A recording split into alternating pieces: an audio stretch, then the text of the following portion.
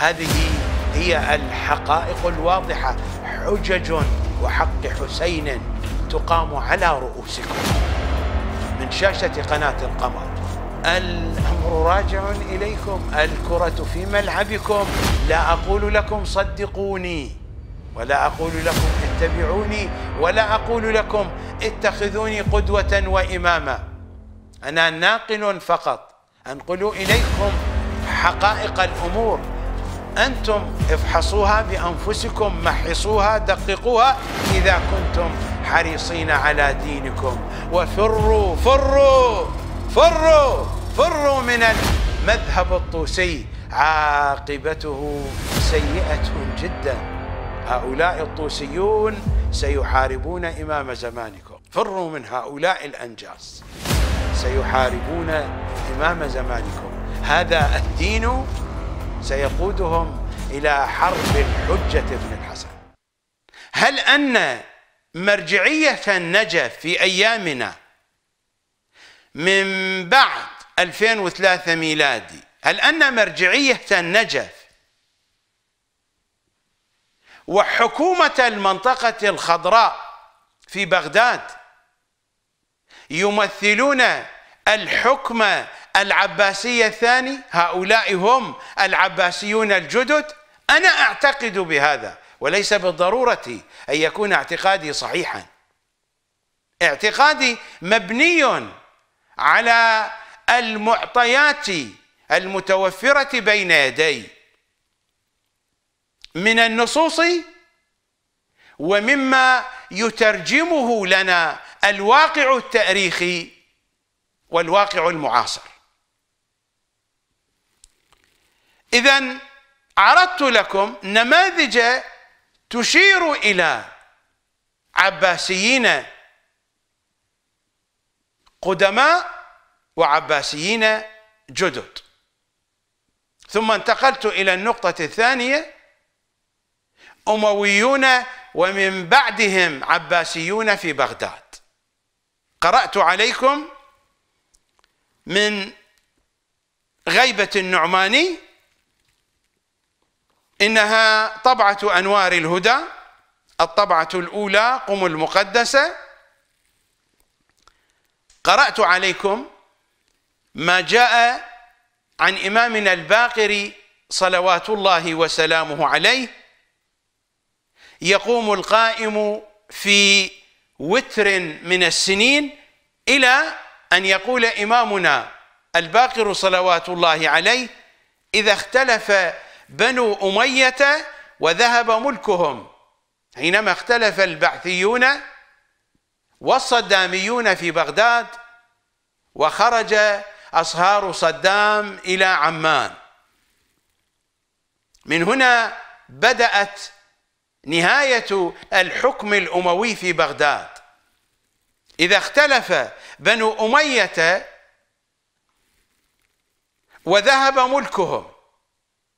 إنه اختلاف في الأسرة في أسرة بني أمية.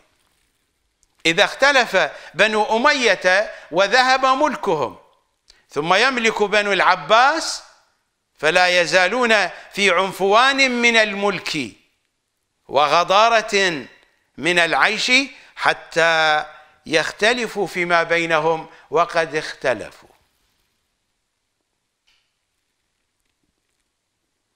إلى أن تقول الرواية الشريفة عن إمامنا الباقر صلوات الله عليه فوالله لكأني أنظر إليه إلى قائم آل محمد بين الركن والمقام. يبايع الناس بأمر جديد إلى آخر ما جاء في الرواية الشريفة. أقرأ عليكم رواية ثانية في المجرى نفسه. نحن نتحدث عن أمويين في بغداد يأتي بعدهم عباسيون جدد.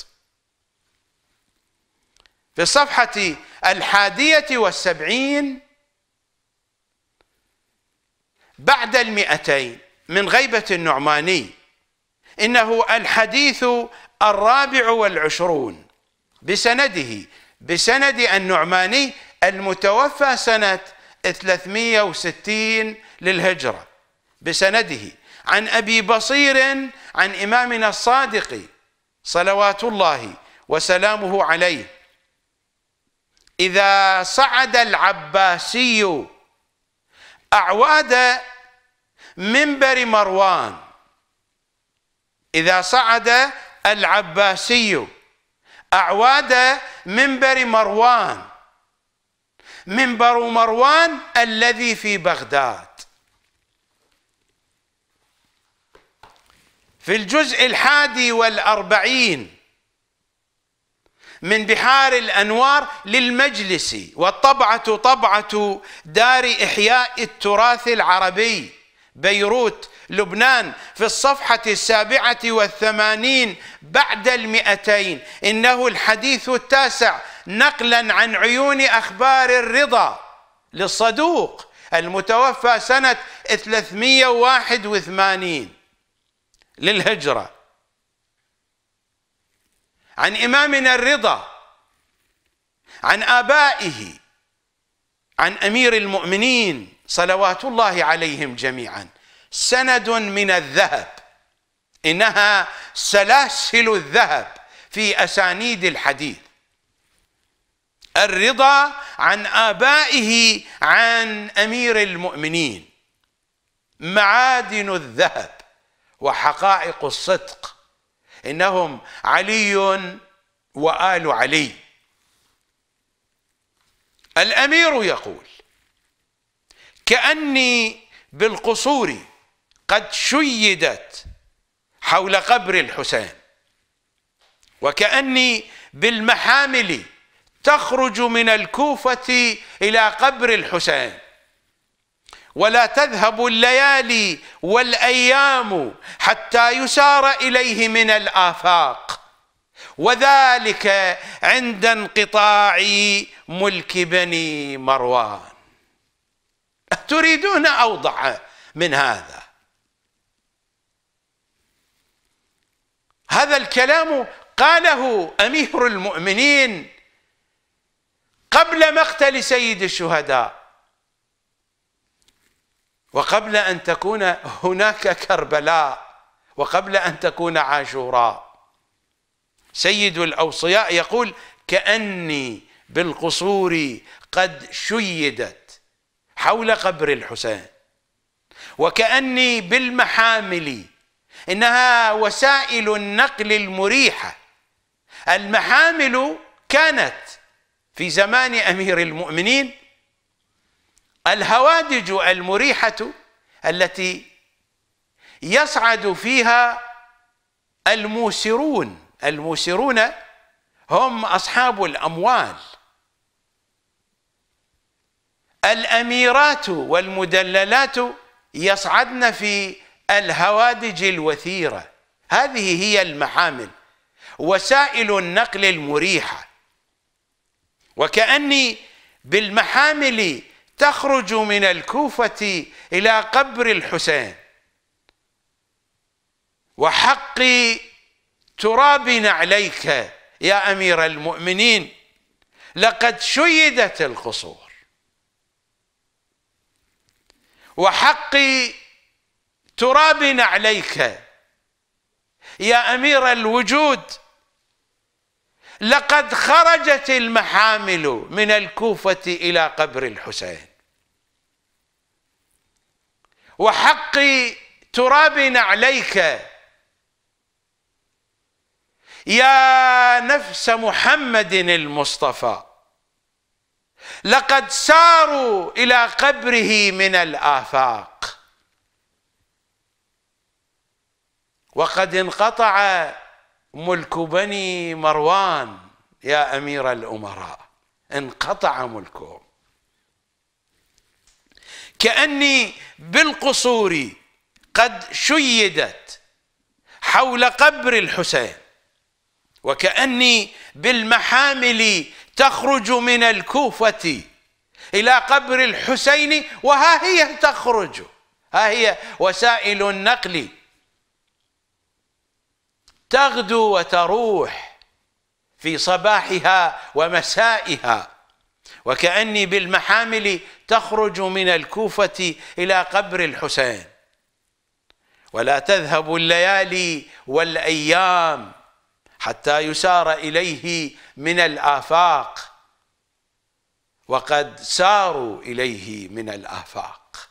سارت الملايين. يا أيها الكرار سارت.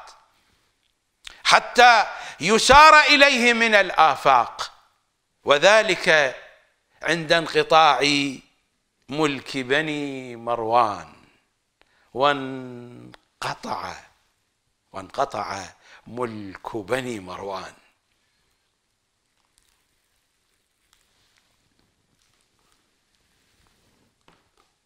المضمون هو هو.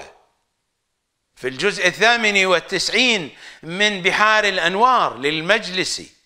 وطبعة طبعة دار إحياء التراث العربي بيروت لبنان في الصفحة الرابعة بعد العاشرة بعد المئة. إنه الحديث السادس والثلاثون نقله عن مصدر من مصادرنا القديمة جدا عن الصحيفة الرضوية.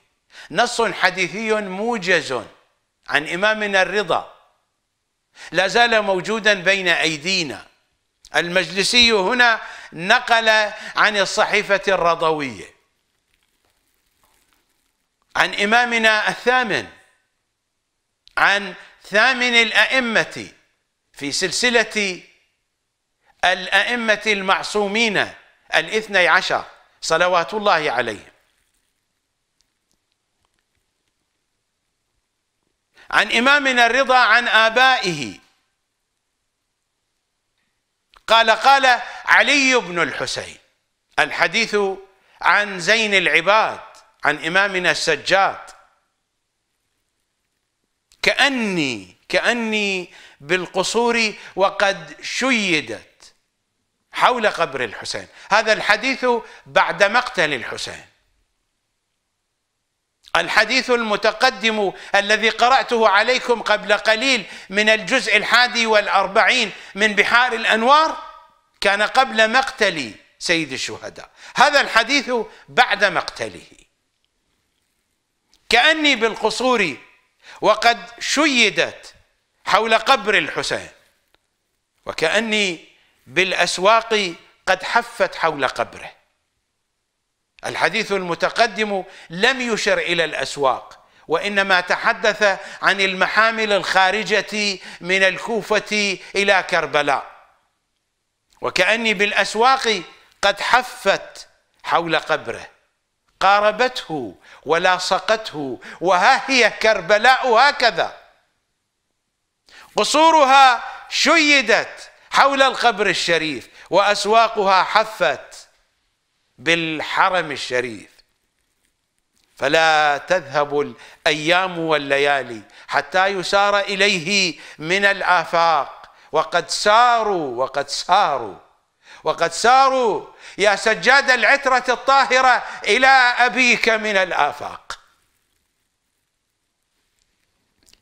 فلا تذهب الأيام والليالي حتى يسار إليه من الآفاق. ماذا يقول السجاد صلوات الله عليه؟ وذلك عند انقطاع ملك بني مروان وقد انقطع ملكهم. نذهب إلى فاصل. الصادق يقول صلوات الله عليه إذا صعد العباسي أعواد منبر مروان. وقد تهاوى منبر مروان في بغداد. وصعد العباسي عليه. صعد العباسيون. هؤلاء هم العباسيون الجدد. قطعا بحسب المعطيات المتوفرة من النصوص والواقع التاريخي والمعاصر. ستأتيكم التفاصيل تباعا في هذه الحلقة وما بعدها. إذا صعد العباسي أعواد منبر مروان أدرج أو أدرج؟ أدرج ملك بني العباس. أدرج أدرج. أدرج ملك بني العباس.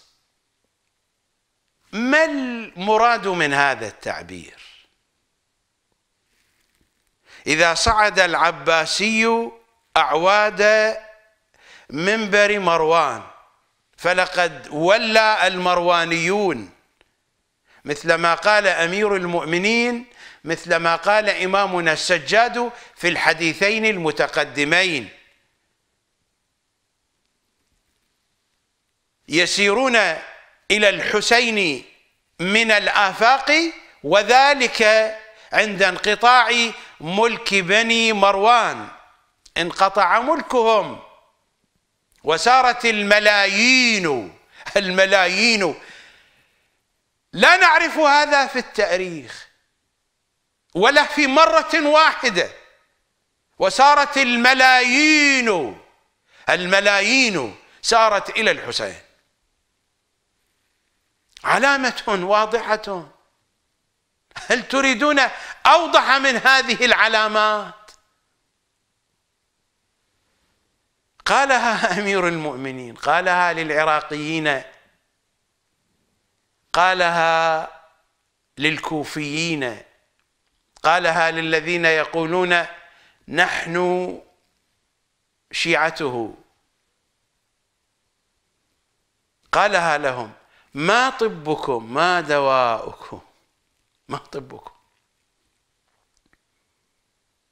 ما طبكم؟ ما دواؤكم؟ هذا هو الطب والدواء. حديث أهل البيت حياة للقلوب. هم قالوا لنا. قالوا لنا حديثنا يزيل الرين والصدأ عن القلوب مثلما يزيل الصيقل الرين والصدأ عن السيوف الصدئة. الصيقل هو صانع السيوف والذي يقوم بصقلها وحدها وتنظيفها وتهذيبها. فهذا هو طبنا وهذا هو دواؤنا هذا هو بلسمنا الشافي. إنها وصية إمام زماننا للشيعة. بل هي أمره الصريح الواضح. طلب المعارف من غير طريقنا أهل البيت. مساوق مساوق لإنكارنا. صلوات عليك يا بقية الله. إذا صعد العباسي أعواد منبر مروان أدرج أدرج. أدرج الفعل مبني للمجهول. الظروف الموضوعية هي الفاعل. الظروف الموضوعية من زمان ومكان وأشخاص وأحداث إلى بقية الأمور التي تتعلق بمثل هذا الشأن بشأن سياسي بشأن اجتماعي. وأدرج فعل مبني للمعلوم المعنى واحد المعنى واحد. أدرج ملك بني العباس. أقرب لكم الفكرة بعبارة وجيزة. الإمام يريد أن يقول لنا من أن الحكم العباسي الثاني حينما ينشأ ويبدأ فهو يحمل معه فيروس نهايته. يستبطن عوامل سقوطه لكن القضية قضية وقت. سيطول وقته وكلما بدا أنه يتهاوى يتجدد. فحكم بني العباس مثلما مر علينا في الروايات والأحاديث مكر وخداع.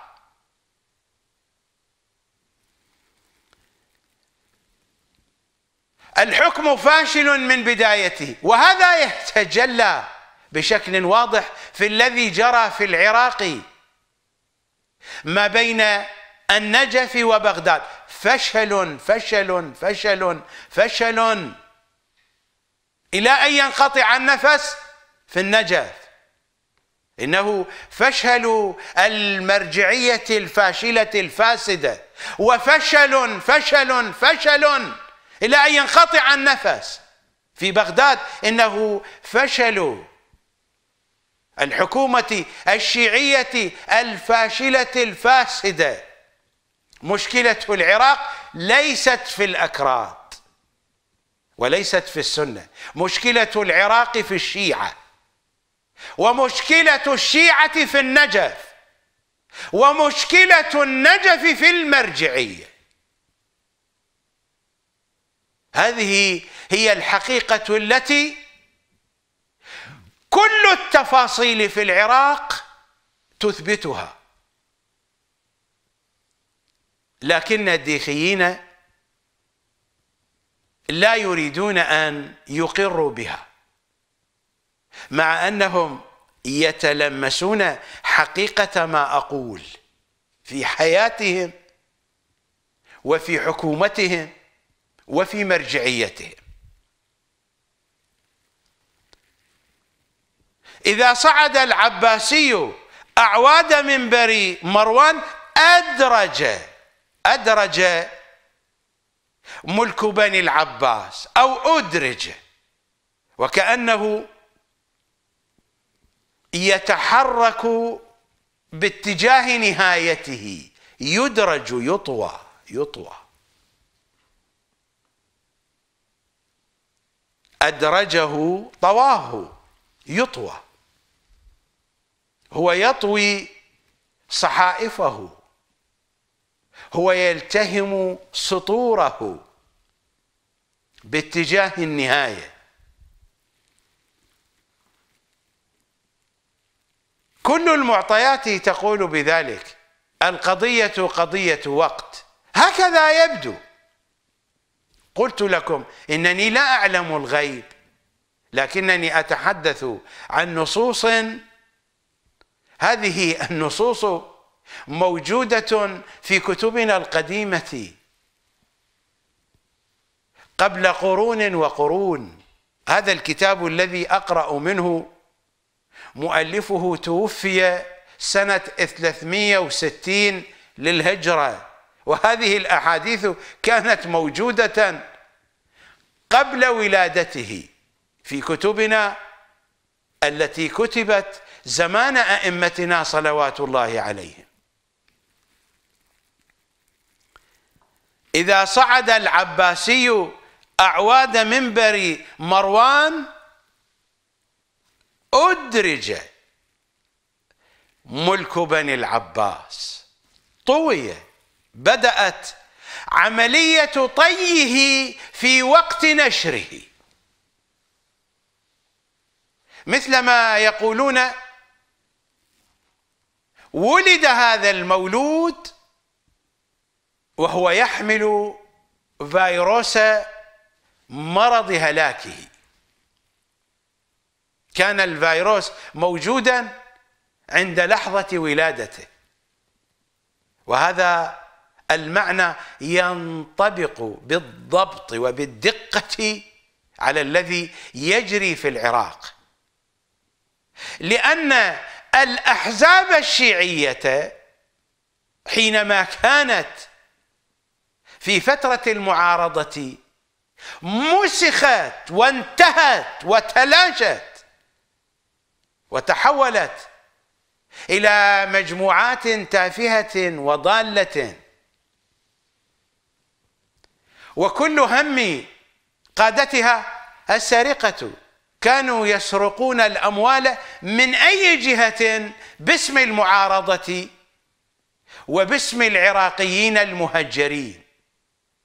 سرقة في سرقة في سرقة. الفساد هو الفساد. وكان الفساد الجنسي ينتشر في أوساطها. إذا أردت أن أفتح لكم تأريخ المعارضة الشيعية التي كانت في إيران أو في سوريا أو في لبنان أو في لندن. هذه المناطق هي أهم المناطق التي كانت تتواجد فيها المعارضة العراقية الشيعية الدينية القطبية القذرة. فلما وصلوا إلى الحكم تأملنا قلنا قلنا لعلهم وصلوا إلى الحكم. ربما صارت القوة بأيديهم. قد قد قد يصلح شيء من وضعهم. لكن الأمور ساءت وذهبت إلى الأسوأ. فقذارات زمان المعارضة تفاقمت وتفاقمت وتفاقمت حينما وصلت الأحزاب الشيعية إلى الحكم. أنا لا أدافع هنا عن الأكراد أو عن السنة. الجميع في الهوى سوى في هوى الفساد وفي هوى عدم الكفاءة وعدم النزاهة. الجميع في الهوى سواء لكن بعض الشر أهون. الأكراد حالهم أفضل من السنة والسنة حالهم أفضل من الشيعة. وحال الشيعة ما بين الحكومة في بغداد والمرجعية في النجف والشيعة في الجنوب والوسط كبول البعير إلى الوراء. والأمور ذاهبة إلى الأسوأ. كل الدلائل والمعطيات تقول بهذا.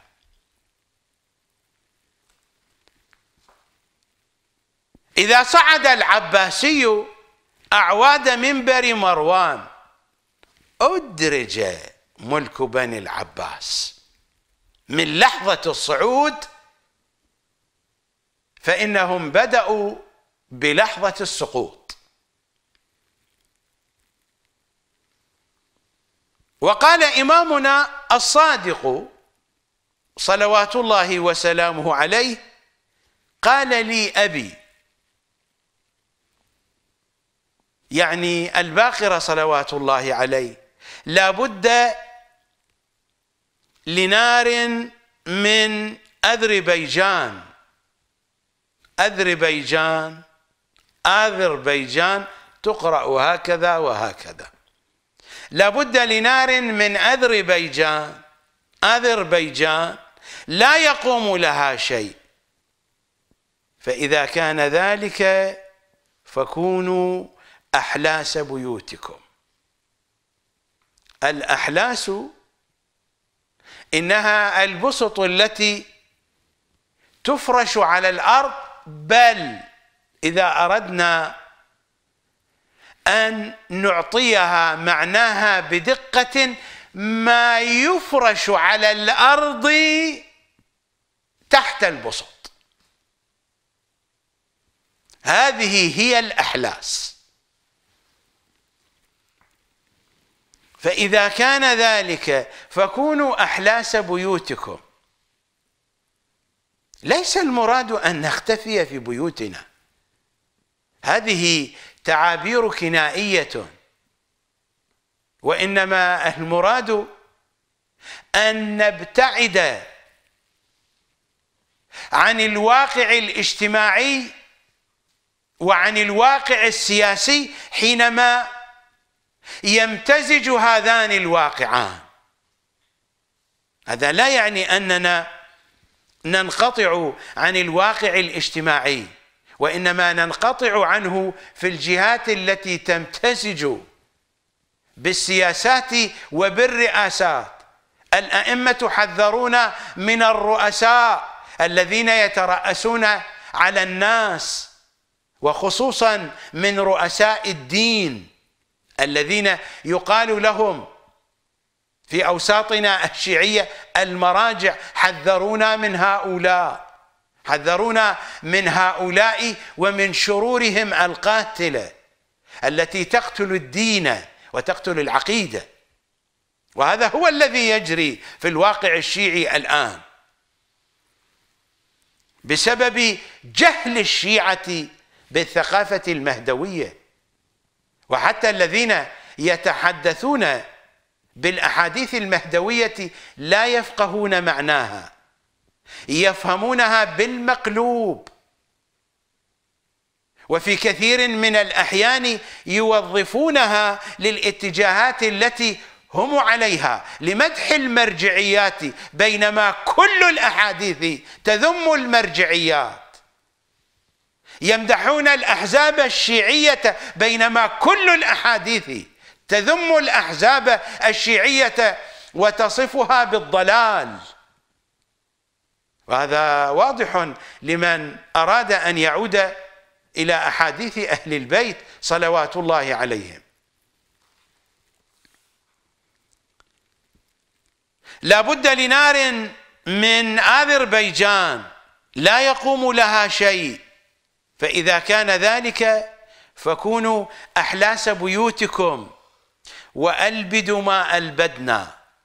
لا تتحركوا حركة واضحة معلومة. والبدوا ما ألبدنا.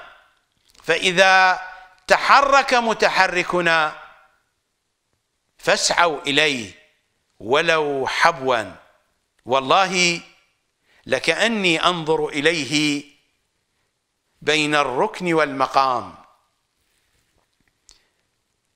يبايع الناس على كتاب جديد. على العرب شديد. لا أريد أن أشرح الرواية لأنني لست بصدد شرح الروايات. إنما أريد أن أستعرض جانبا من الروايات كي أشير إلى ذكر العباسيين الجدد وما يرتبط بشؤونهم وأحوالهم. الرواية صريحة. تتحدث عن العباسيين الجدد لأن الإمام الباقر يتحدث عن ظهور إمام زماننا ويشير كذلك إلى حركة اليماني. فإذا تحرك متحركنا إنه اليماني فاسعوا إليه. إذا ما ظهر اليماني فانهض إليه. فإذا تحرك متحركنا فاسعوا إليه ولو حبوا والله بعد ذلك الإمام يقسم كي يجعل من القسم فاصله انتقال للحديث عن الإمام الحجة. والله لكأني أنظر إليه بين الركن والمقام يبايع الناس على كتاب جديد. هذا هو الحجة ابن الحسن.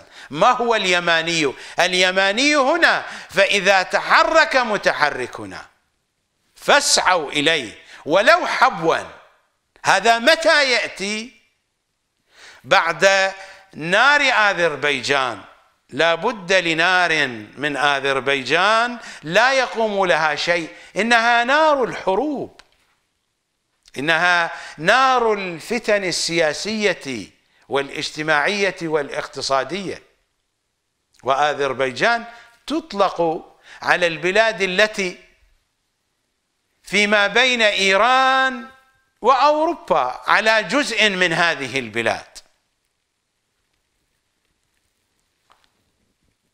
وكانت جزءا من الاتحاد السوفيتي حينما كان الاتحاد السوفيتي موجودا قبل سقوطه.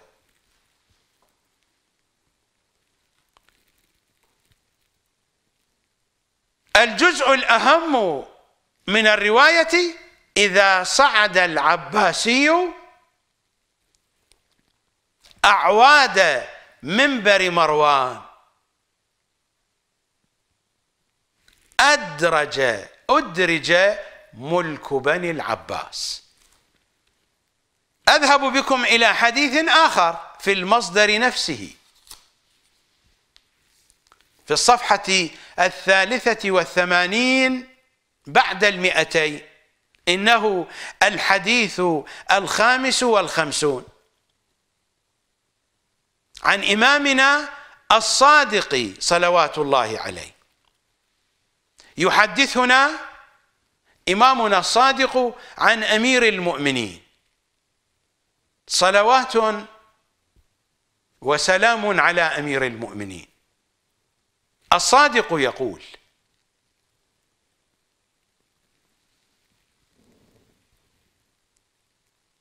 إن أمير المؤمنين حدث عن أشياء تكون بعده إلى قيام القائم.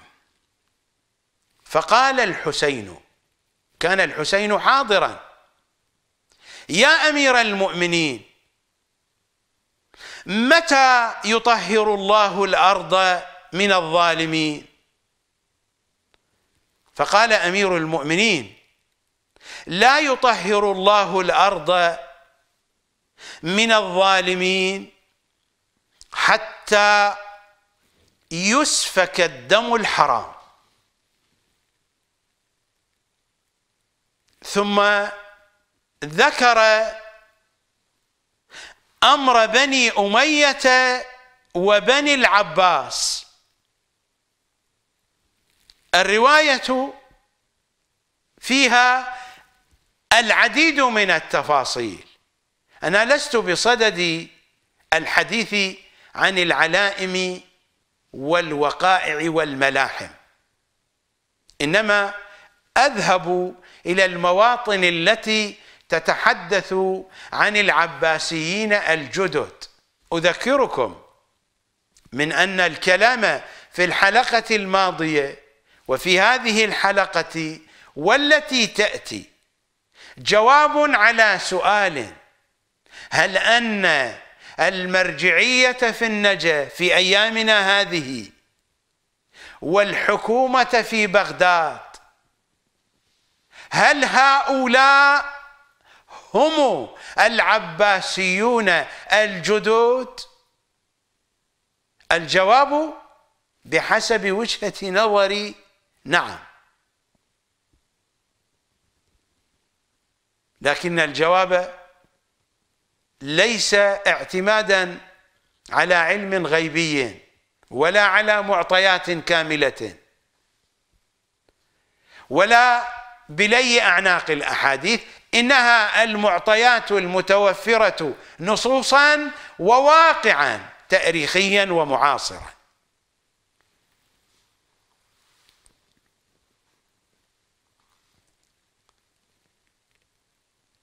لا يطهر الله الأرض من الظالمين حتى يسفك الدم الحرام. الدم الحرام يسفك منذ أيام سقيفة بني ساعده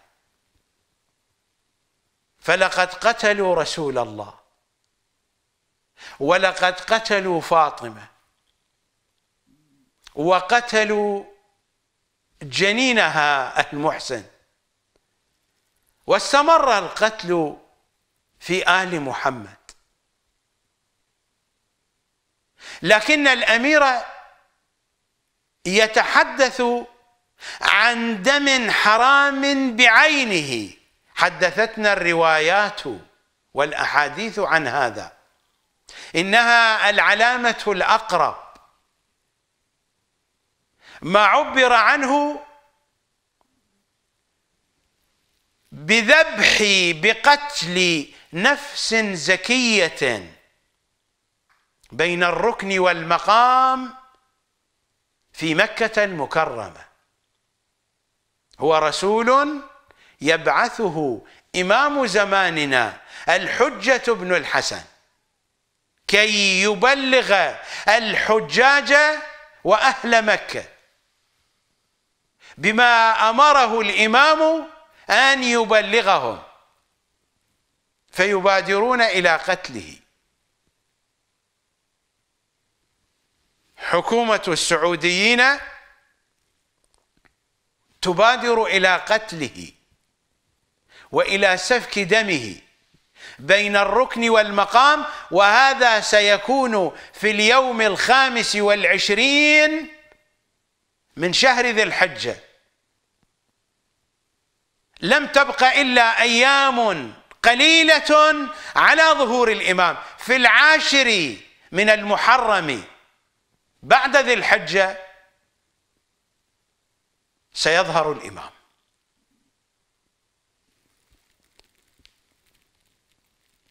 الحسين سأل أمير المؤمنين متى يطهر الله الأرض من الظالمين؟ يسأل عن موعد الظهور. فقال الأمير صلوات الله عليه لا يطهر الله الأرض من الظالمين حتى يسفك الدم الحرام. ثم ذكر أمر بني أمية وبني العباس. الحديث عن بني أمية هنا إما عن الأمويين الذين كانوا في بغداد قبل العباسيين الجدد وإما عن السفياني. فإن السفيانية هو رمز أموي واضح وصريح. ثم ذكر أمر بني أمية وبني العباس والذي يبدو من التسلسل من أنه ذكر بني أمية قبل بني العباس إنه يتحدث عن الأمويين الذين يحكمون بغداد قبل العباسيين الجدد.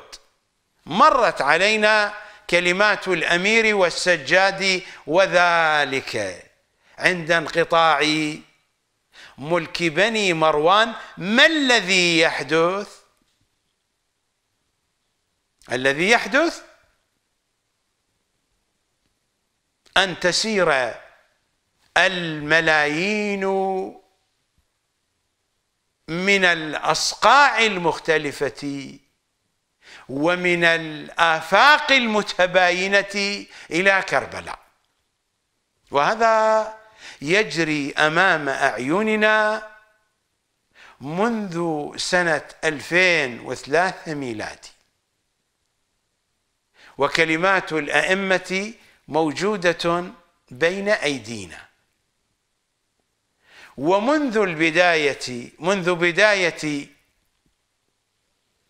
ظهوري على شاشة قناة القمر وأنا أتحدث بهذه الأحاديث لكن احدا لا يلتفت.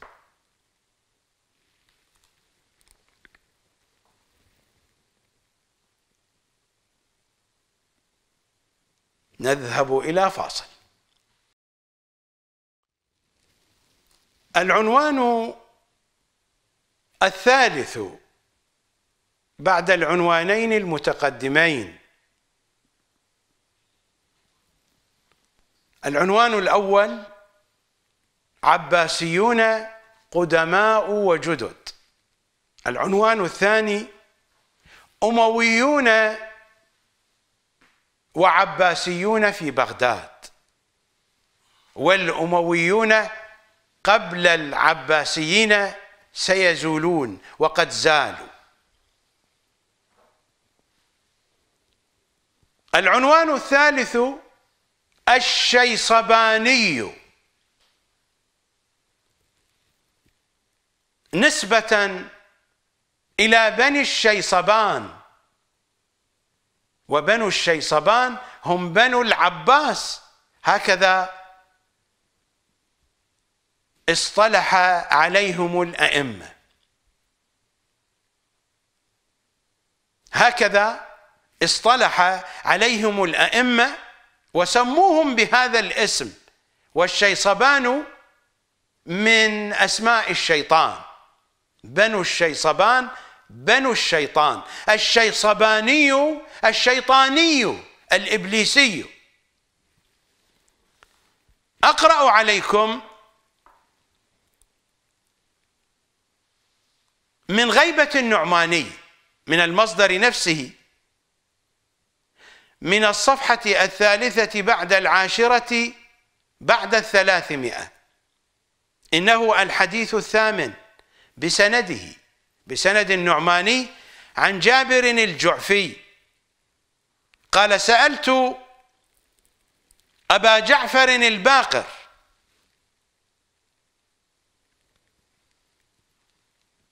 عن السفياني لماذا كل الأسئلة عن السفياني لأنه العلامة الأهم العلامة الأولى والتي ستكون واضحة جدا في مرحلة العلامات الحتمية وتحديدا في شهر رجب العلامات. جابر الجعفي يقول سألت أبا جعفر الباقر عن السفياني فقال وأنى لكم بالسفياني حتى يخرج قبله الشيصباني. لابد من شيصباني قبل السفياني. أين سيكون؟ الشيصباني ما بين الكوفة وبغداد. المرجعية الشيصبانية والأحزاب الشيصبانية في بغداد في المنطقة الخضراء أتحدث عن الأحزاب الشيعية الدينية القطبية. هؤلاء هم الشيصبانيون. والمرجعية التي تشكل حماية وحراسة لهم في النجف هي مرجعية شيصبانية. وأنى لكم بالسفياني حتى يخرج قبله الشيصباني. يخرج من أرض كوفان. شيعي يخرج من أرض كوفان. لأن الحكومة في العراق هي في كوفان في النجف. السيستاني وولده محمد رضا هما اللذان يحكمان العراق. يخرج من أرض كوفان. ينبع كما ينبع الماء.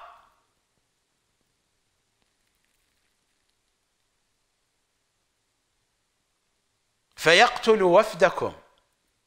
فتوقعوا بعد ذلك السفياني وخروج القائم.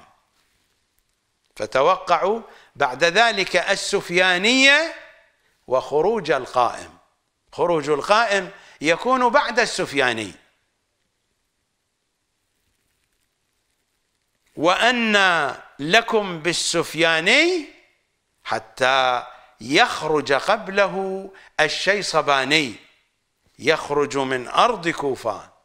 ينبع كما ينبع الماء. فيقتل وفدكم. فتوقعوا بعد ذلك السفيانية وخروج القائم.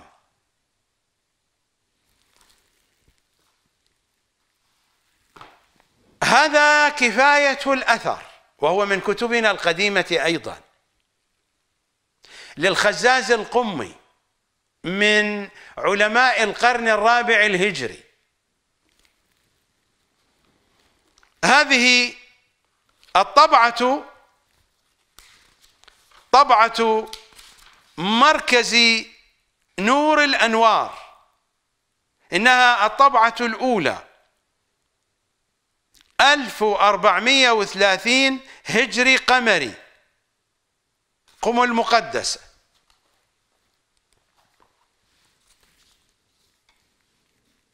أذهب بكم إلى الباب الذي عنوانه ما جاء عن أمير المؤمنين ما يوافق هذه الأخبار.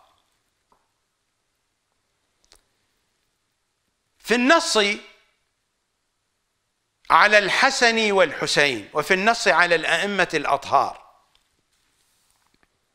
الحديث الأول إنها الصفحة السابعة بعد العاشرة بعد الثلاثمائة.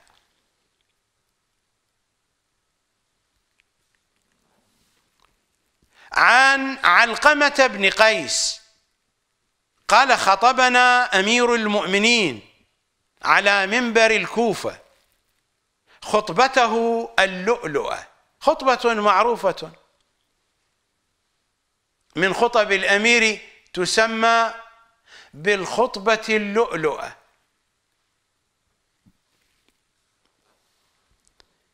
فقال فيما قال في آخرها ألا وإني ضاعن عن قريب ضاعن راحل مسافر. ألا وإني ضاعن عن قريب ومنطلق إلى المغيب. فارتقبوا الفتنة الأموية والمملكة الكسروية وإماتة ما أحياه الله وإحياء ما أماته الله.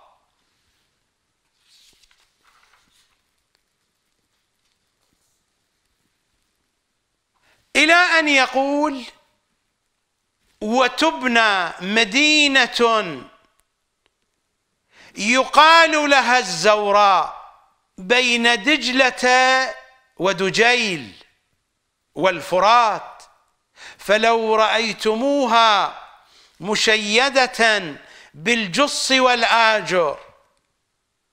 الخطبة طويلة. أنا لا أريد أن أتحدث عن تفاصيل ما ذكره أمير المؤمنين صلوات الله وسلامه عليه وإنما أذهب إلى موطن الشاهد. إلى أن يقول سيد الأوصياء وشيدت بغداد الزوراء وشيدت وشيدت بالقصور. لماذا قيل لها الزوراء قيل لها الزوراء.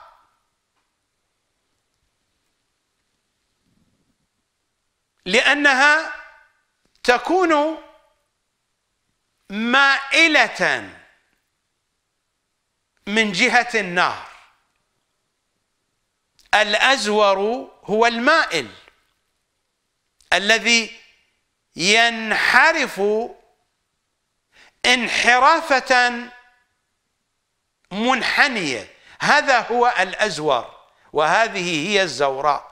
وبالمناسبة بغداد يقال لها الزوراء بسبب موقعها من نهر دجلة الري طهران. يقال لها الزوراء أيضا. وتحديدا منطقة الري بسبب موقعها من سلسلة الجبال الموجودة هناك. فإن الجبال تزور حولها. تأتي بشكل منحن بشكل قوس. من هنا يقال لبغداد من أنها المدينة المدورة. لأنها بنيت بشكل دائري بشكل قد ازور حول النهر. من هنا قيل لها الزوراء وتبنى مدينة. الإمام تحدث عن الأمويين الأوائل. ألا وإني ضاعن عن قريب ومنطلق إلى المغيب فارتقبوا الفتنة الأموية والمملكة الكسروية. الإمام هنا يتحدث عن الأمويين الأوائل عن الأمويين في دمشق في الشام. ثم قال وتبنى مدينة. يقال لها الزوراء يتحدث عن العباسيين الأوائل عن العباسيين القدماء. ثم قال وتبنى مدينة يقال لها الزوراء بين دجلة ودجيل والفرات فلو رأيتموها مشيدة بالجص والآجر إلى أن يقول وشيدت بالقصور وتوالت عليها. وتوالت عليها ملوك بني الشيصبان. أربعة وعشرون ملكا إنهم خلفاء العباسيين. ويشير إليهم فيهم السفاح والمقلاص والجموح والخدوع إلى آخر الأسماء. هذه صفات خلفاء بني العباس. إذا أردنا أن نشرح ألفاظها فإنها تنطبق انطباقا واضحا على خلفاء العباسيين القدماء.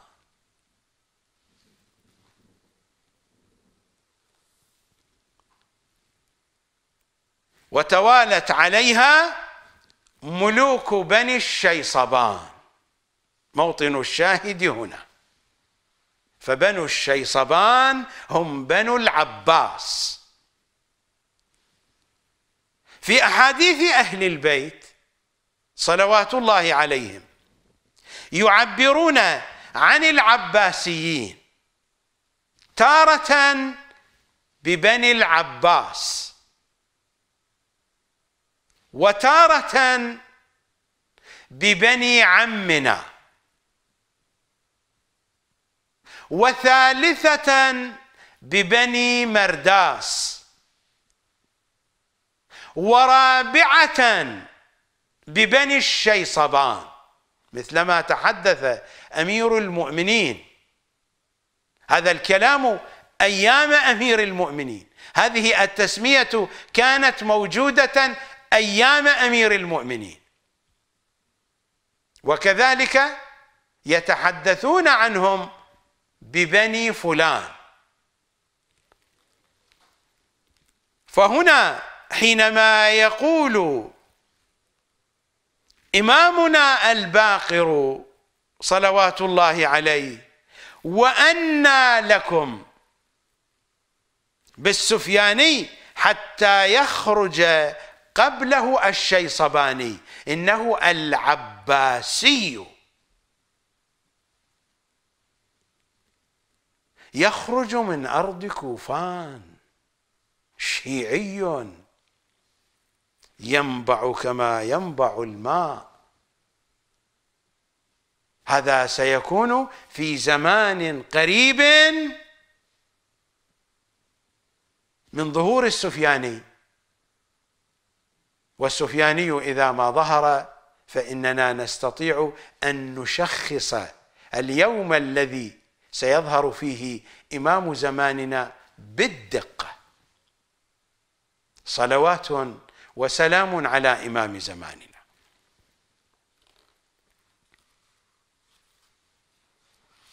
وأقرأ عليكم أيضا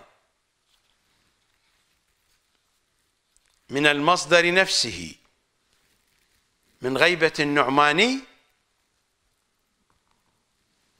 ما جاء في حديث طويل بدايته في الصفحة الثانية والستين بعد المئتين. إنه الحديث الثالث عشر بسنده بسند النعماني عن أبي بصير عن إمامنا الباقري. صلوات الله وسلامه عليه. أول الحديث إذا رأيتم نارا من المشرق شبه الهردي العظيم. إلى آخر الرواية. لا أريد أن أقرأ الرواية الطويلة عليكم. وقد قرأت ما قرأت منها وشرحت ما شرحت منها في برامجي المتقدمة. أذهب إلى موطن الشاهد الذي يرتبط بموضوع حلقتنا هذه في الصفحة الرابعة والستين بعد المئتين. الإمام الباقر يقول إذا اختلف بنو فلان بنو فلان بنو العباس. والإمام يتحدث عن العباسيين الجدد. إذا اختلف بنو فلان فيما بينهم فعند ذلك فانتظروا الفرج. وليس فرجكم إلا في اختلاف بني فلان. فإذا اختلفوا فتوقعوا الصيحة في شهر رمضان وخروج القائم. إن الله يفعل ما يشاء ولن يخرج القائم ولا ترون ما تحبون حتى يختلف بنو فلان فيما بينهم. فإذا كان ذلك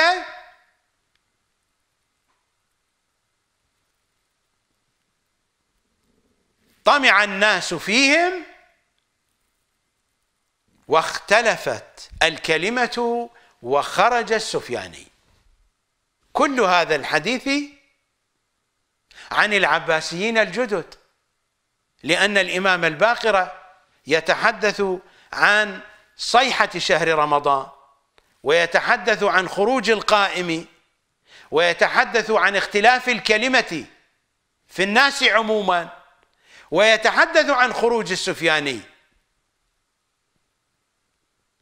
ويجعل اختلاف بني العباس مرتبطا بكل هذه الوقائع بمثابة مقدمة واضحة. أقرأ عليكم ما قاله إمامنا الباقر صلوات الله عليه. ومثل ما قلت لكم أكثر من مرة قبل قليل من أنني لست بصدد شرح تفاصيل هذه الروايات. وقد شرحتها في برامجي المتنوعة. أنا أركز النظر هنا على ما يرتبط بالعباسيين الجدد. إذا اختلف بنو فلان بنو العباس قلت لكم من أن الأئمة يعبرون عن العباسيين بمجموعة من التعابير. أحد هذه التعابير حينما يقولون بنو فلان إذا اختلف بنو فلان فيما بينهم فعند ذلك فانتظروا الفرج. فعند ذلك فانتظروا الفرج. يعني أن الفرج سيكون قريبا. ليس بالضرورة أن يكون قريبا بحساب الليالي والأيام بحساب الأسابيع والشهور. كل المعطيات تشير إلى أن الحساب هو حساب السنين. إذا اختلف بنو فلان فيما بينهم فعند ذلك فانتظروا الفرج وليس فرجكم إلا في اختلاف بني فلان. فإذا اختلفوا فتوقعوا الصيحة في شهر رمضان وخروج القائم. إن الله يفعل ما يشاء. ولن يخرج القائم ولا ترون ما تحبون حتى يختلف بنو فلان فيما بينهم. فإذا كان كذلك طمع الناس فيهم واختلفت الكلمة وخرج السفياني ويستمر إمامنا الباقر صلوات الله عليه يقول لا بد لبني فلان من أن يملكوا. لا بد لبني فلان من أن يملكوا. البارحة كنت أتحدث مع أحد الأخوة وأقول من أن الحكم الشيعية في العراق إذا أردت أن أدرس تأريخ العراق وتأريخ الشيعة وأن أدرس واقع المعارضة الشيعية العراقية لا أستطيع أن أتصورهم أن يصلوا إلى الحكم إلا من جهتين من جهة المصادفة. هكذا قلت له طر كتبه. وقد يقال في دول عربية أخرى ملك وكتابة. نحن نقول في العراق طر كتبه. ملك وكتابة. لكن لا وجود لمثل هذا في تقدير الأمور. أو أن الأمر لا بد أن يكون فهؤلاء لا بد أن يحكموا ويظلموا. لأن الأحاديث هكذا تقول لا تبقى مجموعة.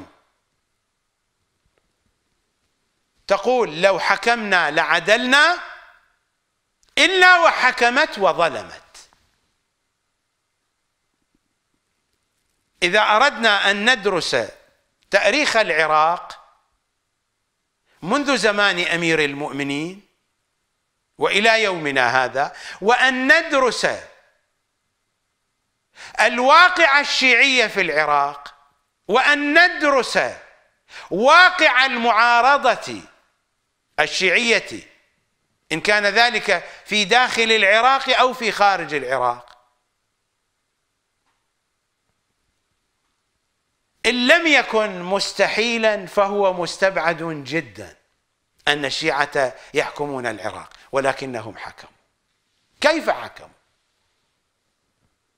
حكموا إما طر كتبة من طريق الصدفة وهذا لا يكون. لا توجد صدفة. وإما أن الأمر لا بد أن يتحقق لأن الأئمة قالوا كل مجموعة تقول لو حكمنا لعدلنا يحكمون ويظلمون. وقد حكموا وظلموا وفسدوا وأفسدوا ولعبوا الألاعيب وعبثوا عبثا عظيما. بدين الناس وشؤون الناس وأموال الناس وأحوال الناس وأعراض الناس. وكل ذلك تحت فيء عمامة السيستاني إنهم الشيصبانيون والعباسيون الجدد. ما بين الكوفة الشيصبانية والخضراء الشيصبانية. لا بد لبني فلان لا بد لهم. لا بد لبني فلان من أن يملكوا. فإذا ملكوا ثم اختلفوا. تفرق ملكهم وتشتت أمرهم حتى يخرج عليهم. هم باقون إلى زمان السفياني حتى يخرج عليهم الخراساني والسفياني. هذا من المشرق وهذا من المغرب يستبقان إلى الكوفة. عاصمة العباسيين الكوفة وليست بغداد. العباسيون القدماء ما كانت عاصمتهم الأولى بغداد؟ عاصمتهم الأولى الكوفة. العاصمة الأولى التي تأسس فيها الحكم العباسي الأول الكوفة. ورؤوس بني العباس كانوا يختفون في سرداب في دار أبي سلمة الخلال الذي كان من كبار دعاتهم والذي سمي بعد ذلك بوزير آل محمد بوزير العباسيين. هكذا لقبوه بوزير آل محمد. إنه أبو سلمة الخلال. كوفي هذا وكانت داره في الكوفة. ورؤوس العباسيين كانوا يختفون في سرداب في دار أبي سلمة الخلال. ومن سرداب أبي سلمة الخلال خرج السفاح والمنصور وتأسست الخلافة العباسية.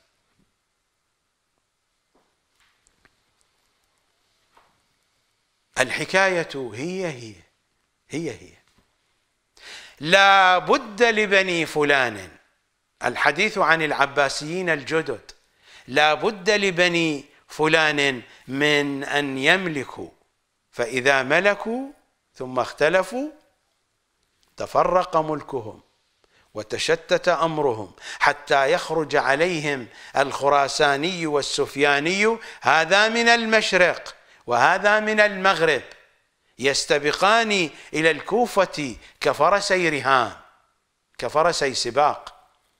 هذا من هنا وهذا من هنا حتى يكون هلاك بني فلان بني العباس على أيديهما. فالخراساني سيهلك العباسيين الذين هم يناصرون السفياني في جو السفياني. والسفياني سيهلك العباسيين الذين يناصرون الخراساني في جهة الخراساني. حتى يخرج عليهم الخراساني والسفياني. هذا من المشرق وهذا من المغرب يستبقان إلى الكوفة كفرسي رهان هل مر في تاريخ العراق في زمن العباسيين أن كان في بغداد هناك مجموعة تحسب على الأمويين في الحكم وفي الوقت نفسه هناك مجموعة تحسب على الخراسانيين الذين هم أنصار العباسيين؟ هل مر هذا. حينما سقط الحكم الأموي في الشام تفرق الأمويون في كل مكان. ولم يكن لهم من سلطة أو وجود في بغداد. فهذه القضية لا تتصور لكنها حدثت حدثت. منذ 2003 أمام أعيننا. أجنحة في الحكم توالي الأمويين توالي النواصب. الداعشيون موجودون في المنطقة الخضراء ولكن بأسلوب لين ناعم. والذين يناصرون الاتجاه الشيعية في إيران موجودون أيضا في المنطقة الخضراء. لهذا السبب فإن الخراسانية سيهلك العباسيين وكذلك السفياني سيهلك العباسيين. كيف تتصورون هذا المعنى مع أن الخراسانية والسفيانية ما هما على اتفاق؟ الخراساني عدو السفياني والسفياني عدو الخراساني. إذا كيف يتفقان في القضاء على العباسيين؟ لأن كل طرف سيقضي على أنصار الطرف الآخر. ليس بالضرورة أن يكونوا أنصارا صادقين لكنهم أنصار بحسب المصالح السياسية. للطرفين للطرف السفياني وللطرف الخراساني على حد سواء.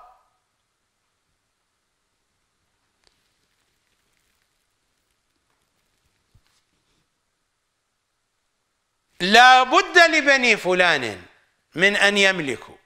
فإذا ملكوا ثم اختلفوا تفرق ملكهم. وتشتت أمرهم حتى يخرج عليهم الخراساني والسفياني. هذا من المشرق وهذا من المغرب. الذي من المشرق الخراساني من مشرق العراق والذي من المغرب السفياني من مغرب العراق. هذا من المشرق وهذا من المغرب. يستبقان إلى الكوفة. قرأت عليكم في روايات الحلقة الماضية واختلف أهل الشرق وأهل الغرب أهل المشرق وأهل المغرب. وقلت لكم إنه اختلاف الإيرانيين فيما بينهم واختلاف الشاميين فيما بينهم. هذا من المشرق وهذا من المغرب. يستبقان إلى الكوفة كفرسي رهان هذا من هنا وهذا من هنا حتى يكون هلاك بني فلان على أيديهما. أما إنهم لا يبقون منهم أحدا لأن الخراسانية سيهلك جماعة السفياني ولأن السفيانية سيهلك جماعة الخراساني الذين يحسبون عليه. الذين يحسبون على السفياني سيهلكهم الخراساني والذين يحسبون على الخراساني سيهلكهم السفياني. ثم يتحدث إمامنا الباقر عن خروج السفياني واليماني والخراساني إلى أن يقول صلوات الله وسلامه عليه. إن ذهاب ملك بني فلان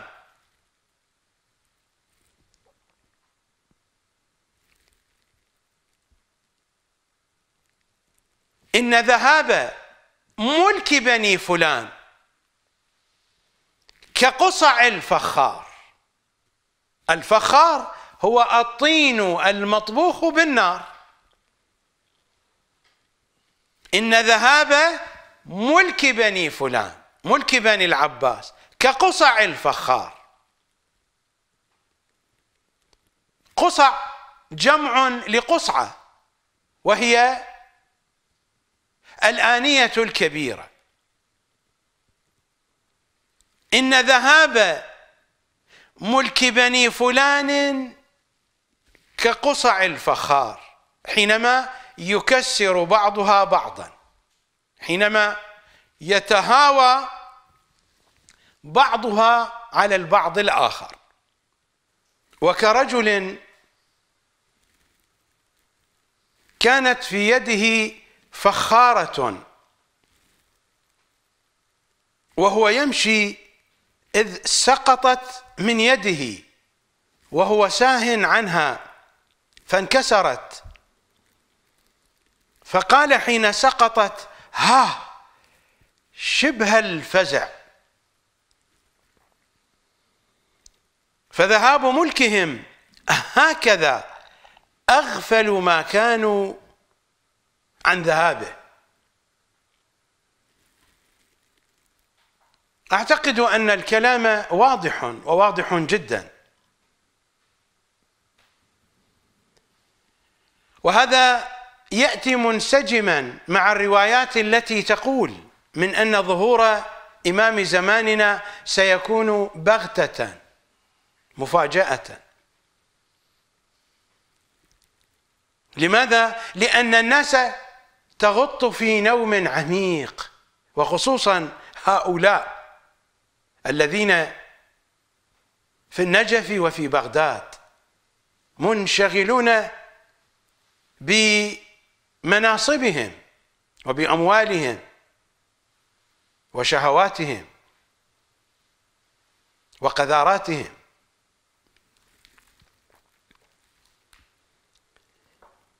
إن ذهاب ملك بني فلان كقصع الفخار. حينما تتهاوى ويكسر بعضها بعضا. وكرجل كانت في يده فخارة وهو يمشي إذ سقطت من يده وهو ساه عنها. في غفلة من أمره فانكسرت فقال حين سقطت ها شبه الفزع. فذهاب ملكهم هكذا. أغفلوا ما كانوا عن ذهابه.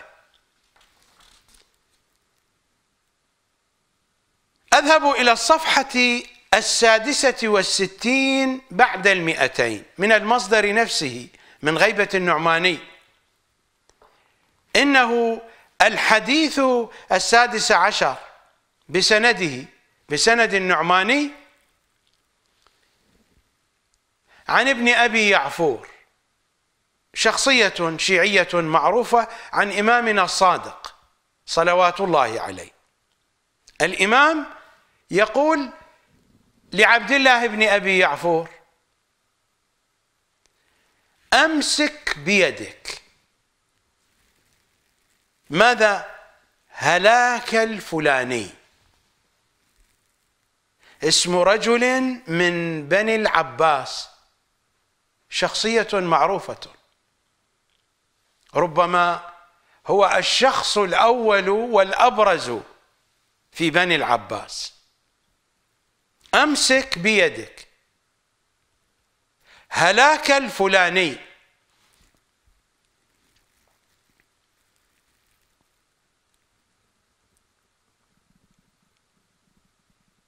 الفلاني اسم رجل من بني العباس. وخروج السفياني وهذا سيكون بعد هلاك الفلاني. وقتل النفس إنها النفس الزكية. حدثتكم قبل قليل عنها. الدم الحرام الذي يسفك في الشهر الحرام وفي البلد الحرام. هكذا ورد في كلماتهم وأحاديثهم صلوات الله عليهم. أمسك بيدك هلاك الفلاني وخروج السفياني وقتل النفس وجيش الخسف. الخسف الذي يكون في بيداء المدينة. وهذا سيكون عند الظهور من العلامات المقارنة لظهور الإمام. والصوت قلت وما الصوت؟ هو المنادي؟ فقال نعم. وبه يعرف صاحب هذا الأمر. ثم قال الفرج كله كله هلاك الفلاني من بني العباس. هناك شخصية عباسية في العراق إذا ما هلكت فبدايات الفرج تتحرك. ليس بالضرورة أن تكون ظاهرة للعيان. يعرفها من يعرفها.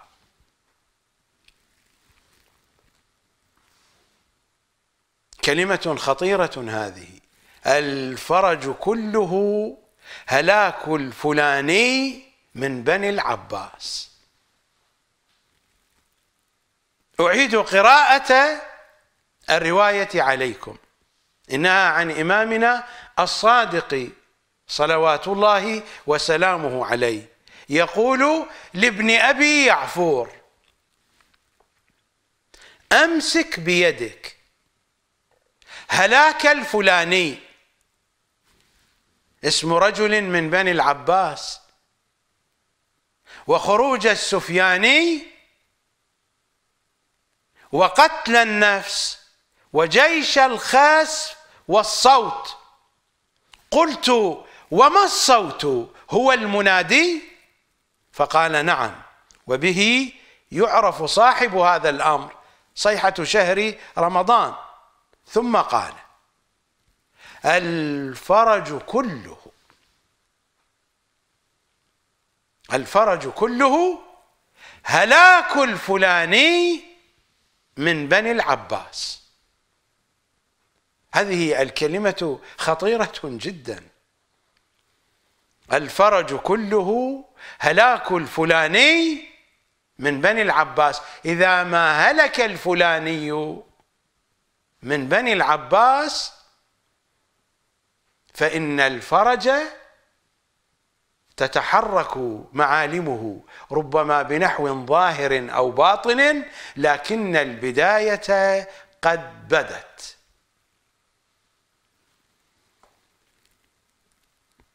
والنهاية للعباسيين قد بدت أيضا.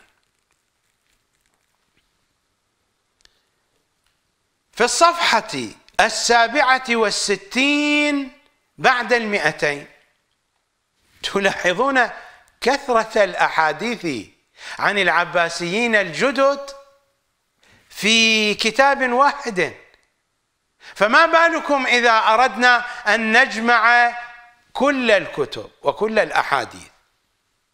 إلا أنني اقتصرت على غيبة النعماني لأن الكتاب هذا هو من أهم ما كتب في بابه. في الصفحة السابعة والستين بعد المئتين إنه الحديث الثامن عشر بسنده بسند النعماني عن أبي بكر الحضرمي عن أبي جعفر الباقر صلوات الله عليه. هكذا يقول إمامنا لا بد أن لا بد أن يملك بنو العباس. هذا هو الذي قلته قبل قليل. من أن شيعة العراق مستحيل. إن لم يكن مستحيلا في غاية الصعوبة أن يصلوا إلى الحكم. لكنهم وصلوا. إما من طريق الصدفة وهذا ليس واردا في تقدير الأمور.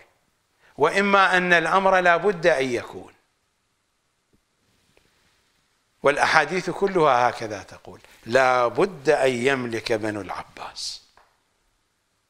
وهذا هو الذي جرى منذ 2003 إلى الآن. ألا تتفقون معي من أنه كان الأمر مستحيلا؟ أتعلمون أن الحكومة الإيرانية في الفترة الأخيرة من زمن المعارضة قبل سقوط النظام الصدامي. أوعزت إلى باقر الحكيم من أن ينتقل إلى قم كي يواصل درسه الحوزوي وتدريسه الحوزوي وأن يحول المجلس الأعلى إلى جمعية خيرية. هذا الكلام حقيقي. صحف المعارضة صحف المعارضة كانت تتسابق في التحليل. أتحدث عن المعارضة الشيعية. كانت تتسابق في التحليل من الذي سيكون رئيسا بعد صدام عدي أم قصي؟ والله هذا الذي كان يجري. حزب الدعوة في أوروبا قياداته كانوا يناقشون أن يرسلوا وفدا إلى صدام وأن يعودوا إلى العراق وأن يعملوا سياسيا تحت ظل الحكم الصدامي. هذه حقائق وتوجد منشورات ووثائق على هذا. أنا لا أحدثكم من الخيال. ولا افتري على أحد. لو كنت مهتما بتأريخ المعارضة لقدمت لكم برنامجا أذكر لكم فيه العجائب ما يحدثونكم عن المعارضة وما ألفوه في الكتب وما تتحدث به فضائياتهم أكاذيب وحق الحسين أكاذيب. هذا هو واقع المعارضة. فحزب الدعوة في أوروبا كانوا يريدون الذهاب إلى صدام.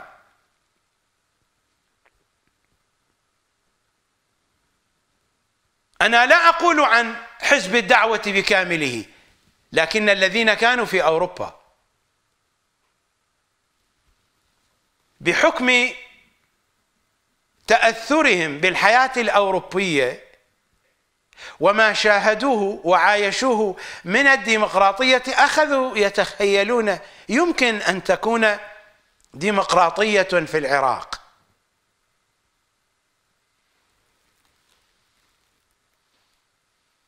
هذا الموضوع بحاجة إلى تفصيل في القول وأنا لا أريد أن أقف عنده. لكنني كما قلت لكم بحكم معرفتي بتأريخ العراق وتأريخ الشيعة وواقع المعارضة الشيعية العراقية مستحيل أن يصل الشيعة إلى الحكم. إن لم يكن مستحيلا في غاية الصعوبة ولكنهم وصلوا. فلو اجوا طر كتبة أو أنه أمر مقدر لا بد أن يكون. كل مجموعة تقول لو حكمنا لعدلنا يحكمون ويظلمون. ولا يبقى أحد من هذه المجموعات التي تدعي لو أنها حكمت لعدلت. لم يبقى في العراق إلا هذه المجموعة إلا المجموعة الشيعية. ولذا الإمام يقول لا بد أن يملك بنو العباس. فإذا ملكوا واختلفوا وتشتت أمرهم خرج عليهم الخراساني والسفياني. هذا من المشرق الخراساني وهذا من المغرب السفياني من مشرق العراق ومغربه. يستبقان إلى الكوفة يستبقان. الخراساني يريد أن يصل إلى الكوفة قبل السفياني والسفياني كذلك. يستبقان إلى الكوفة كفرسي رهان كفرسي سباق. هذا من ها هنا وهذا من ها هنا حتى يكون هلاكهم. هلاك بني فلان هلاك بني العباس. لا بد أن يملك بنو العباس. حتى يكون هلاكهم على أيديهما. أما إنهما لا يبقون منهم أحدا أبدا.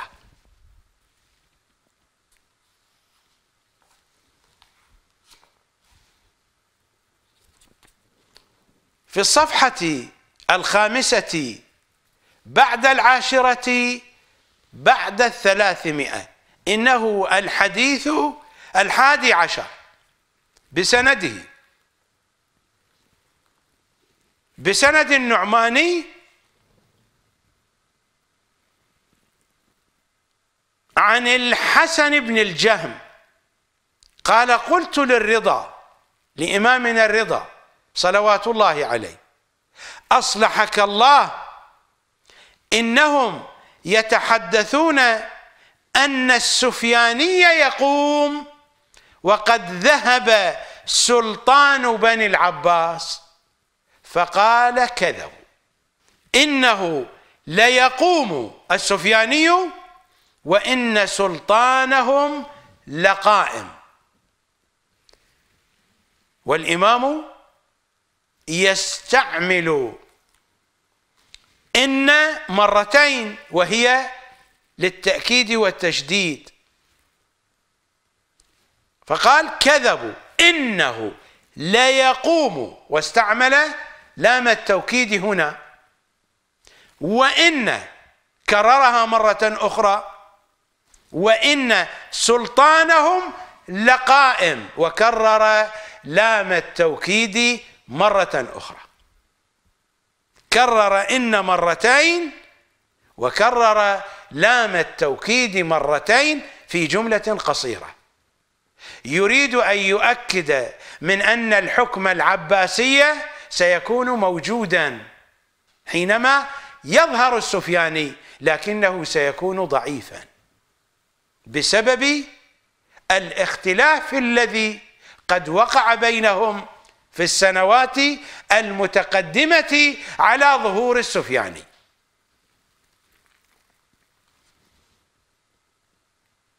الحسن بن الجهم يقول قلت للرضا أصلحك الله إنهم يتحدثون أن السفياني يقوم وقد ذهب سلطان بني العباس فقال كذبوا. إمامنا الرضا يقول كذبوا. إنه ليقوم السفياني وإن سلطانهم سلطان العباسيين لقائم.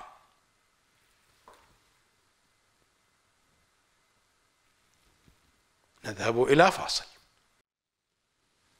عنوان في السياق نفسه ولكنه يأخذ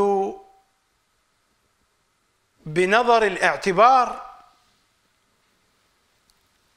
أن اختلاف بني العباس سيكون في الأجواء القريبة من ظهور الخراساني واليماني والسفياني.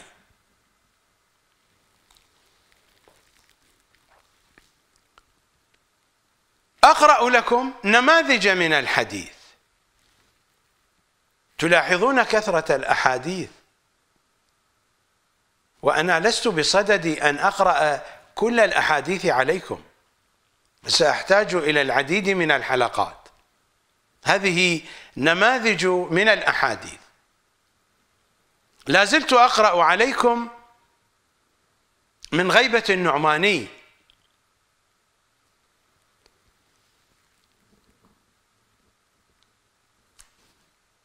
في الصفحة الثامنة والثمانين بعد المئتين. إنه الحديث السابع والستون. بسنده بسند النعماني عن جابر الجعفي عن إمامنا الباقري صلوات الله وسلامه عليه يا جابر الزم الأرض ولا تحرك يدا ولا رجلا حتى ترى علامات أذكرها لك إن أدركتها. أولها اختلاف بني العباس. وما أراك تدرك ذلك ولكن حدث به من بعدي عني أو من بعدي عني. ومناد ينادي من السماء. الإمام لا يتحدث عن العباسيين القدماء والذين لم يكونوا على عهد الباقر صلوات الله عليه وإنما جاءوا بعد ذلك. فإمامنا الباقر عاش في زمان الأمويين ولم يكن في زمان العباسيين. ومع ذلك فإن الإمام الباقر يحدث جابرا الجعفي عن العباسيين في المرحلة الثانية.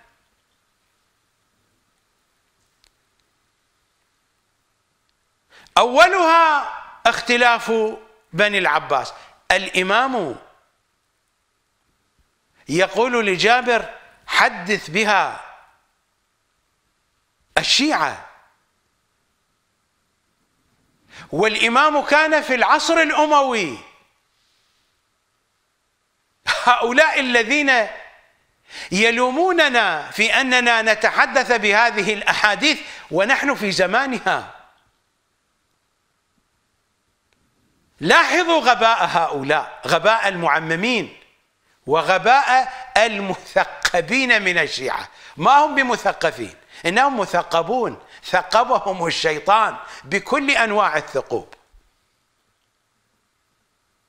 هؤلاء الذين يلوموننا في أننا نتحدث عن إمام زماننا. لاحظوا الإمام الباقرة هكذا يحدث جابر. وكان الإمام في العصر الأموي.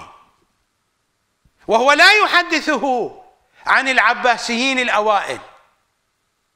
يحدثه عن العباسيين الجدد. أولها اختلاف بني العباس وما أراك تدرك ذلك ولكن حدث به. من بعدي عني ومناد ينادي من السماء إنها الصيحة. ويجيئكم صوت من ناحية دمشق بالفتح وتخسف قرية من قرى الشام تسمى الجابية. إلى آخر الرواية. الرواية طويلة. موطن الشاهد هنا. أول علامة ذكرها اختلاف بني العباس لأهميتها. لماذا؟ لأن الإمام يريد من الشيعة أن يتحركوا إذا ما وقع الاختلاف بين بني العباس. فالإمام هكذا قال لجابر يا جابر الزم الأرض ولا تحرك يدا ولا رجلا حتى ترى علامات أذكرها لك إن أدركتها.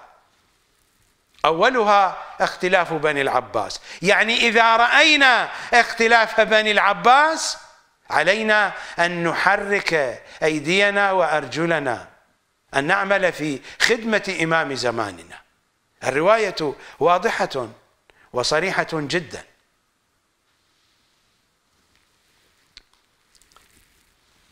أقرأ عليكم من الجزء الثاني والخمسين من بحار الأنوار للمجلس وطبعة طبعة دار إحياء التراث العربي بيروت لبنان. في الصفحة الرابعة والستين بعد المئتين. إنه الحديث التاسع والأربعون بعد المئة. نقله عن الكافي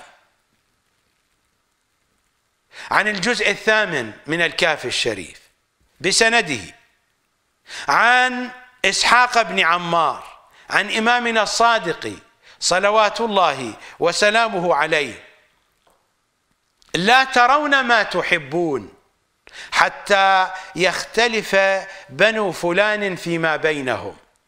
فإذا اختلفوا طمع الناس وتفرقت الكلمة وخرج السفياني. المضامين تتكرر في أحاديثهم وكلماتهم وأقوالهم وكتبهم وعلى ألسنة رواتهم وأصحابهم وعلمائهم. وأقرأ أيضا من غيبة النعماني في الصفحة الثامنة والسبعين بعد المئتين. إنه الحديث الثاني والأربعون بسنده. بسند النعماني عن يعقوب بن السراج. قال قلت لأبي عبد الله للصادق صلوات الله عليه متى فرج شيعتكم؟ فقال إذا اختلف ولد العباس ووهى سلطانهم. متى سيبدأ ضعف سلطانهم إذا ما هلك الفلاني من بني العباس سيبدأ ضعف سلطانهم لأن الإمام هكذا قال الفرج كله إذا هلك الفلاني من بني العباس. يعقوب ابن السراج يقول قلت لأبي عبد الله للصادق صلوات الله عليه متى فرج شيعتكم؟ فقال إذا اختلف ولد العباس ووهى سلطانهم وطمع فيهم من لم يكن يطمع. وخلعت العرب أعنتها إلى آخر الرواية لست بصدد شرح الرواية هذه وقد شرحتها وتحدثت عن تفاصيلها في برامجي السابقة لكنني أركز هنا على ما يرتبط بذكر العباسيين الجدد. إذا اختلف ولد العباس هذا كان جوابا لسؤال يعقوب ابن السراج. متى فرج شيعتكم؟ إذا اختلف ولد العباس ووهى سلطانهم. العلامة ما هي؟ إذا هلك الفلاني من بني العباس.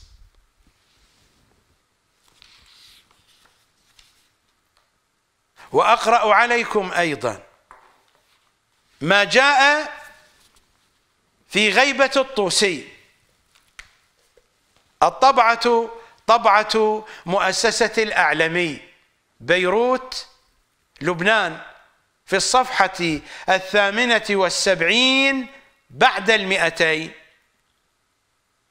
بسنده عن أبي بصير عن بكر بن حرب.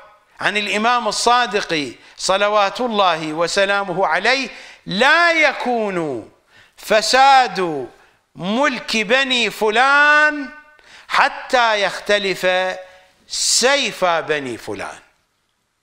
والروايات حدثتنا عن قتل بين الحيرة والكوفة ومن أن قتلاهم على سواء. الطرفان على باطل وما هما على حق. لا يكون فساد ملك بني فلان حتى يختلف سيف بني فلان. فإذا اختلف كان عند ذلك فساد ملكهم. يبدأ ملكهم بالتهاوي شيئا فشيئا. حتى يأتي الخراساني من مشرق العراق ويأتي السفياني من مغرب العراق.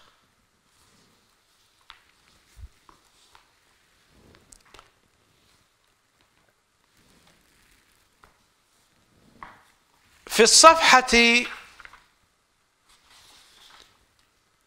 التاسعة والستين بعد المئتين. من غيبة النعماني. إنه الحديث الحادي والعشرون. بسنده بسند النعماني عن محمد بن الصامت عن إمامنا الصادق صلوات الله وسلامه عليه. قال قلت له ما من علامة بين يدي هذا الأمر؟ فقال بلى. قلت وما هي؟ قال هلاك العباسي. شخصية من بني العباس تكون مهمة إذا ما هلكت والتعبير بالهلاك لا يوحي بأنه سيقتل وإنما سيموت. قال هلاك العباسي وخروج السفياني وقتل النفس الزكية والخسف بالبيداء والصوت من السماء. حديث عن العباسيين الجدد.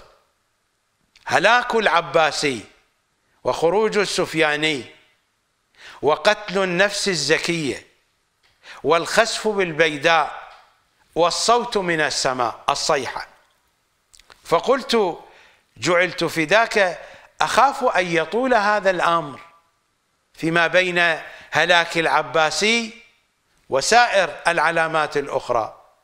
فقال لا إنما هو كنظام الخرس يتبع بعضه بعضا.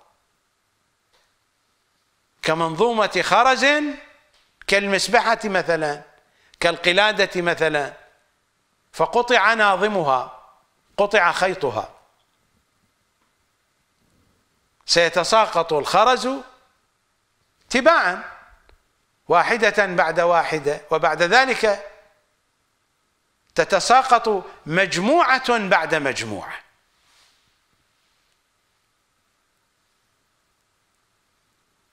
تلاحظون أن الروايات وأن الأحاديث وفيرة وكثيرة جدا وما عرضته لم يكن في حد الاستقصاء. عرضت مجموعة واضحة كثيرة من النماذج. لكنني لم أكن في مقام الاستقصاء. كل هذه الأحاديث أجمعت على حكم عباسي ثان ولا بد أن يكون في العراق. فهؤلاء الذين يشرحون لكم الأحاديث ويقولون لكم من أن الحكم العباسي يشير إلى حكم آل سعود. هؤلاء يفسرون الأحاديث والروايات بحسب أمزجتهم لأنهم على هوى الحكم العباسي في العراق. بالنسبة لي فإنني لا أعبأ لا بالمراجع العباسيين في النجف ولا بالحكام العباسيين في بغداد. أعرض الحقائق كما هي. ما عرضته بين أيديكم من روايات وأحاديث في الحلقة الماضية وفي هذه الحلقة. ما عرضته هو نماذج. فإنني لم أستقصي كل الأحاديث. هذا يحتاج إلى وقت طويل.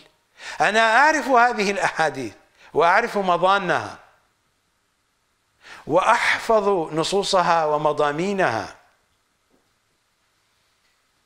فإني أشتغل في هذا المجال منذ أكثر من أربعين سنة. لا في يوم ولا في يومين. هذه الأمور بديهية عندي وواضحه عندي. تعاملي معها في غاية السهولة. كل هذه الروايات تجمع على أن حكما عباسيا ثانيا لا بد أن يكون لا بد أن يملكه مرت علينا النصوص. لا بد أن يحكم العباسيون بغداد ثانية. وتلاحظون أن الروايات تتحدث عن الكوفة بنحو أكثر وبنحو أوضح. مما تتحدث به عن بغداد. اذا الحاكم العباسي الحقيقي في الكوفة في النجف. وهذا هو الواقع الذي نعيشه اليوم. هناك حكم عباسي في العراق هذا الحكم مقره الأول الكوفة النجف ومقره الثاني بغداد. وهذا الحكم يتعرض لهدات سياسية لكنه يتشافى منها. يبدو وكأنه يريد أن ينتهي لكنه يعود. ويأتي هذا الحكم بعد انقطاع ملك بني مروان. سيظلمون وسيفسدون وسيعيثون الفساد في الدين والدنيا وفي كل شيء. سيختلفون فيما بينهم. وسيسفك بعضهم دماء بعض. لا بد أن يكون هذا. وفي المناطق الشيعية تحديدا. وستسفك الدماء. أكان هذا في موعد قريب في موعد بعيد. الأحاديث هي التي أخبرتنا بذلك. قلت لكم أنا لا أتحدث عن غيب ولا أمتلك كل المعطيات. ولا أقوم بلي أعناق الأحاديث بحسب ما أرغب وما يميل إليه هواي. هذه النصوص بين أيديكم. كلماتها واضحة مضامينها بينة. هناك حكم عباسي ثان في العراق. مقره الأول الكوفة القوة الأولى في الكوفة والقوة الثانية في بغداد. يتعرض لصدمات يكاد أن يتهاوى لكنه يعود مرة أخرى. ينفخ الشيطان فيه. يعود مرة أخرى. يختلفون حتى تسفك الدماء.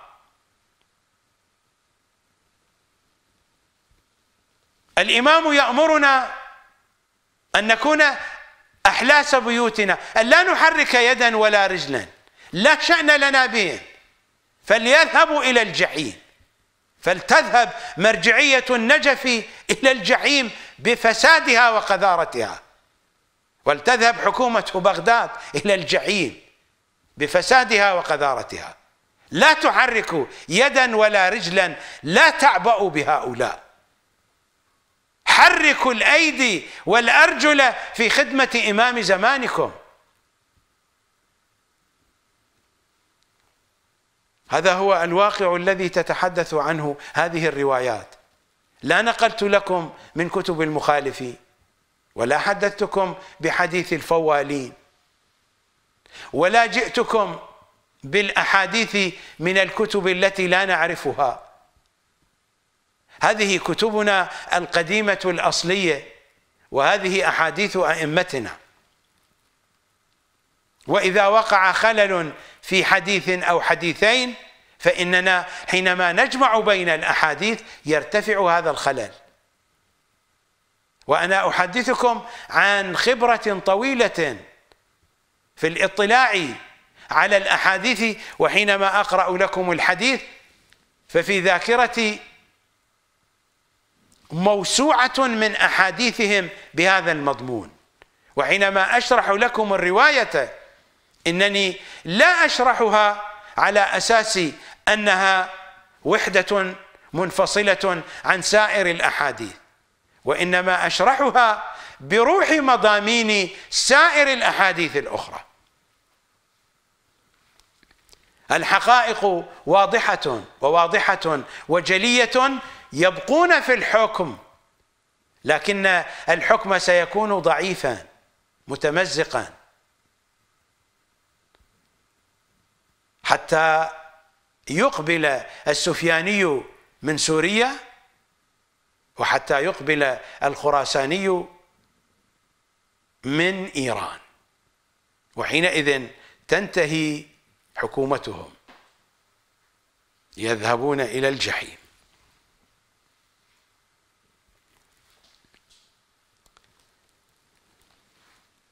مثلما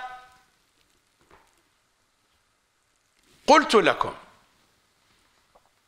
الحديث في الحلقة الماضية وفي هذه الحلقة وفي الحلقة التي تأتي جواب لسؤال هل أن مرجعية النجف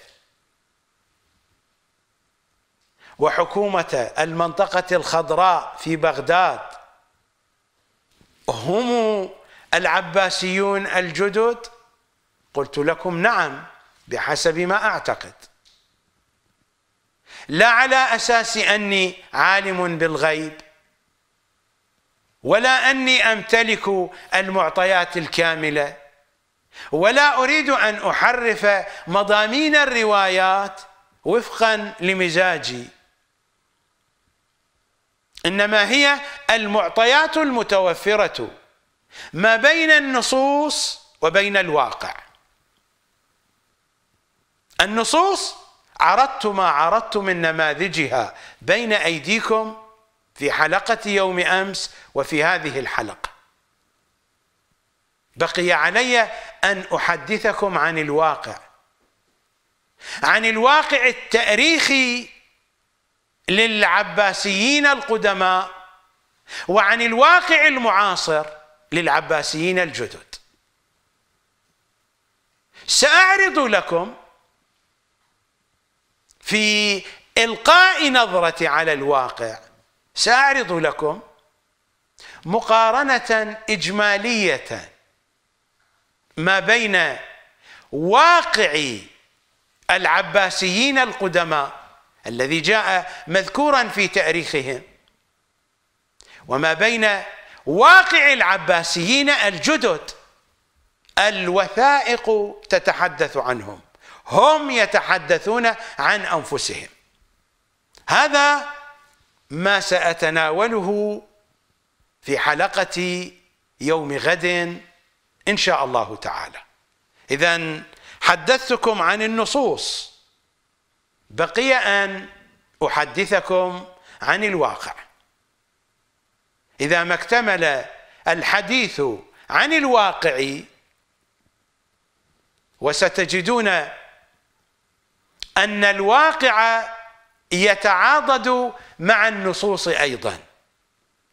وهذا هو الذي جعلني أقول من أن هؤلاء هم العباسيون الجدد. كفانا الله شرهم وأبعدنا عن ضلالهم خصوصا أولئك الذين يتربعون على عرش حكم العراق في النجف. نلتقي غدا على مودة قائم آل محمد صلوات الله وسلامه عليه لكنني أحببت أن أنبهكم وأن ألفت أنظاركم إلى موضوعين مهمين سأتحدث عنهما وخصوصا وخصوصا الموضوع الثاني. إذا ما انتهى حديثي عن العباسيين الجدد وربما ينتهي في حلقة يوم غد. لا أدري. أنا والمعطيات.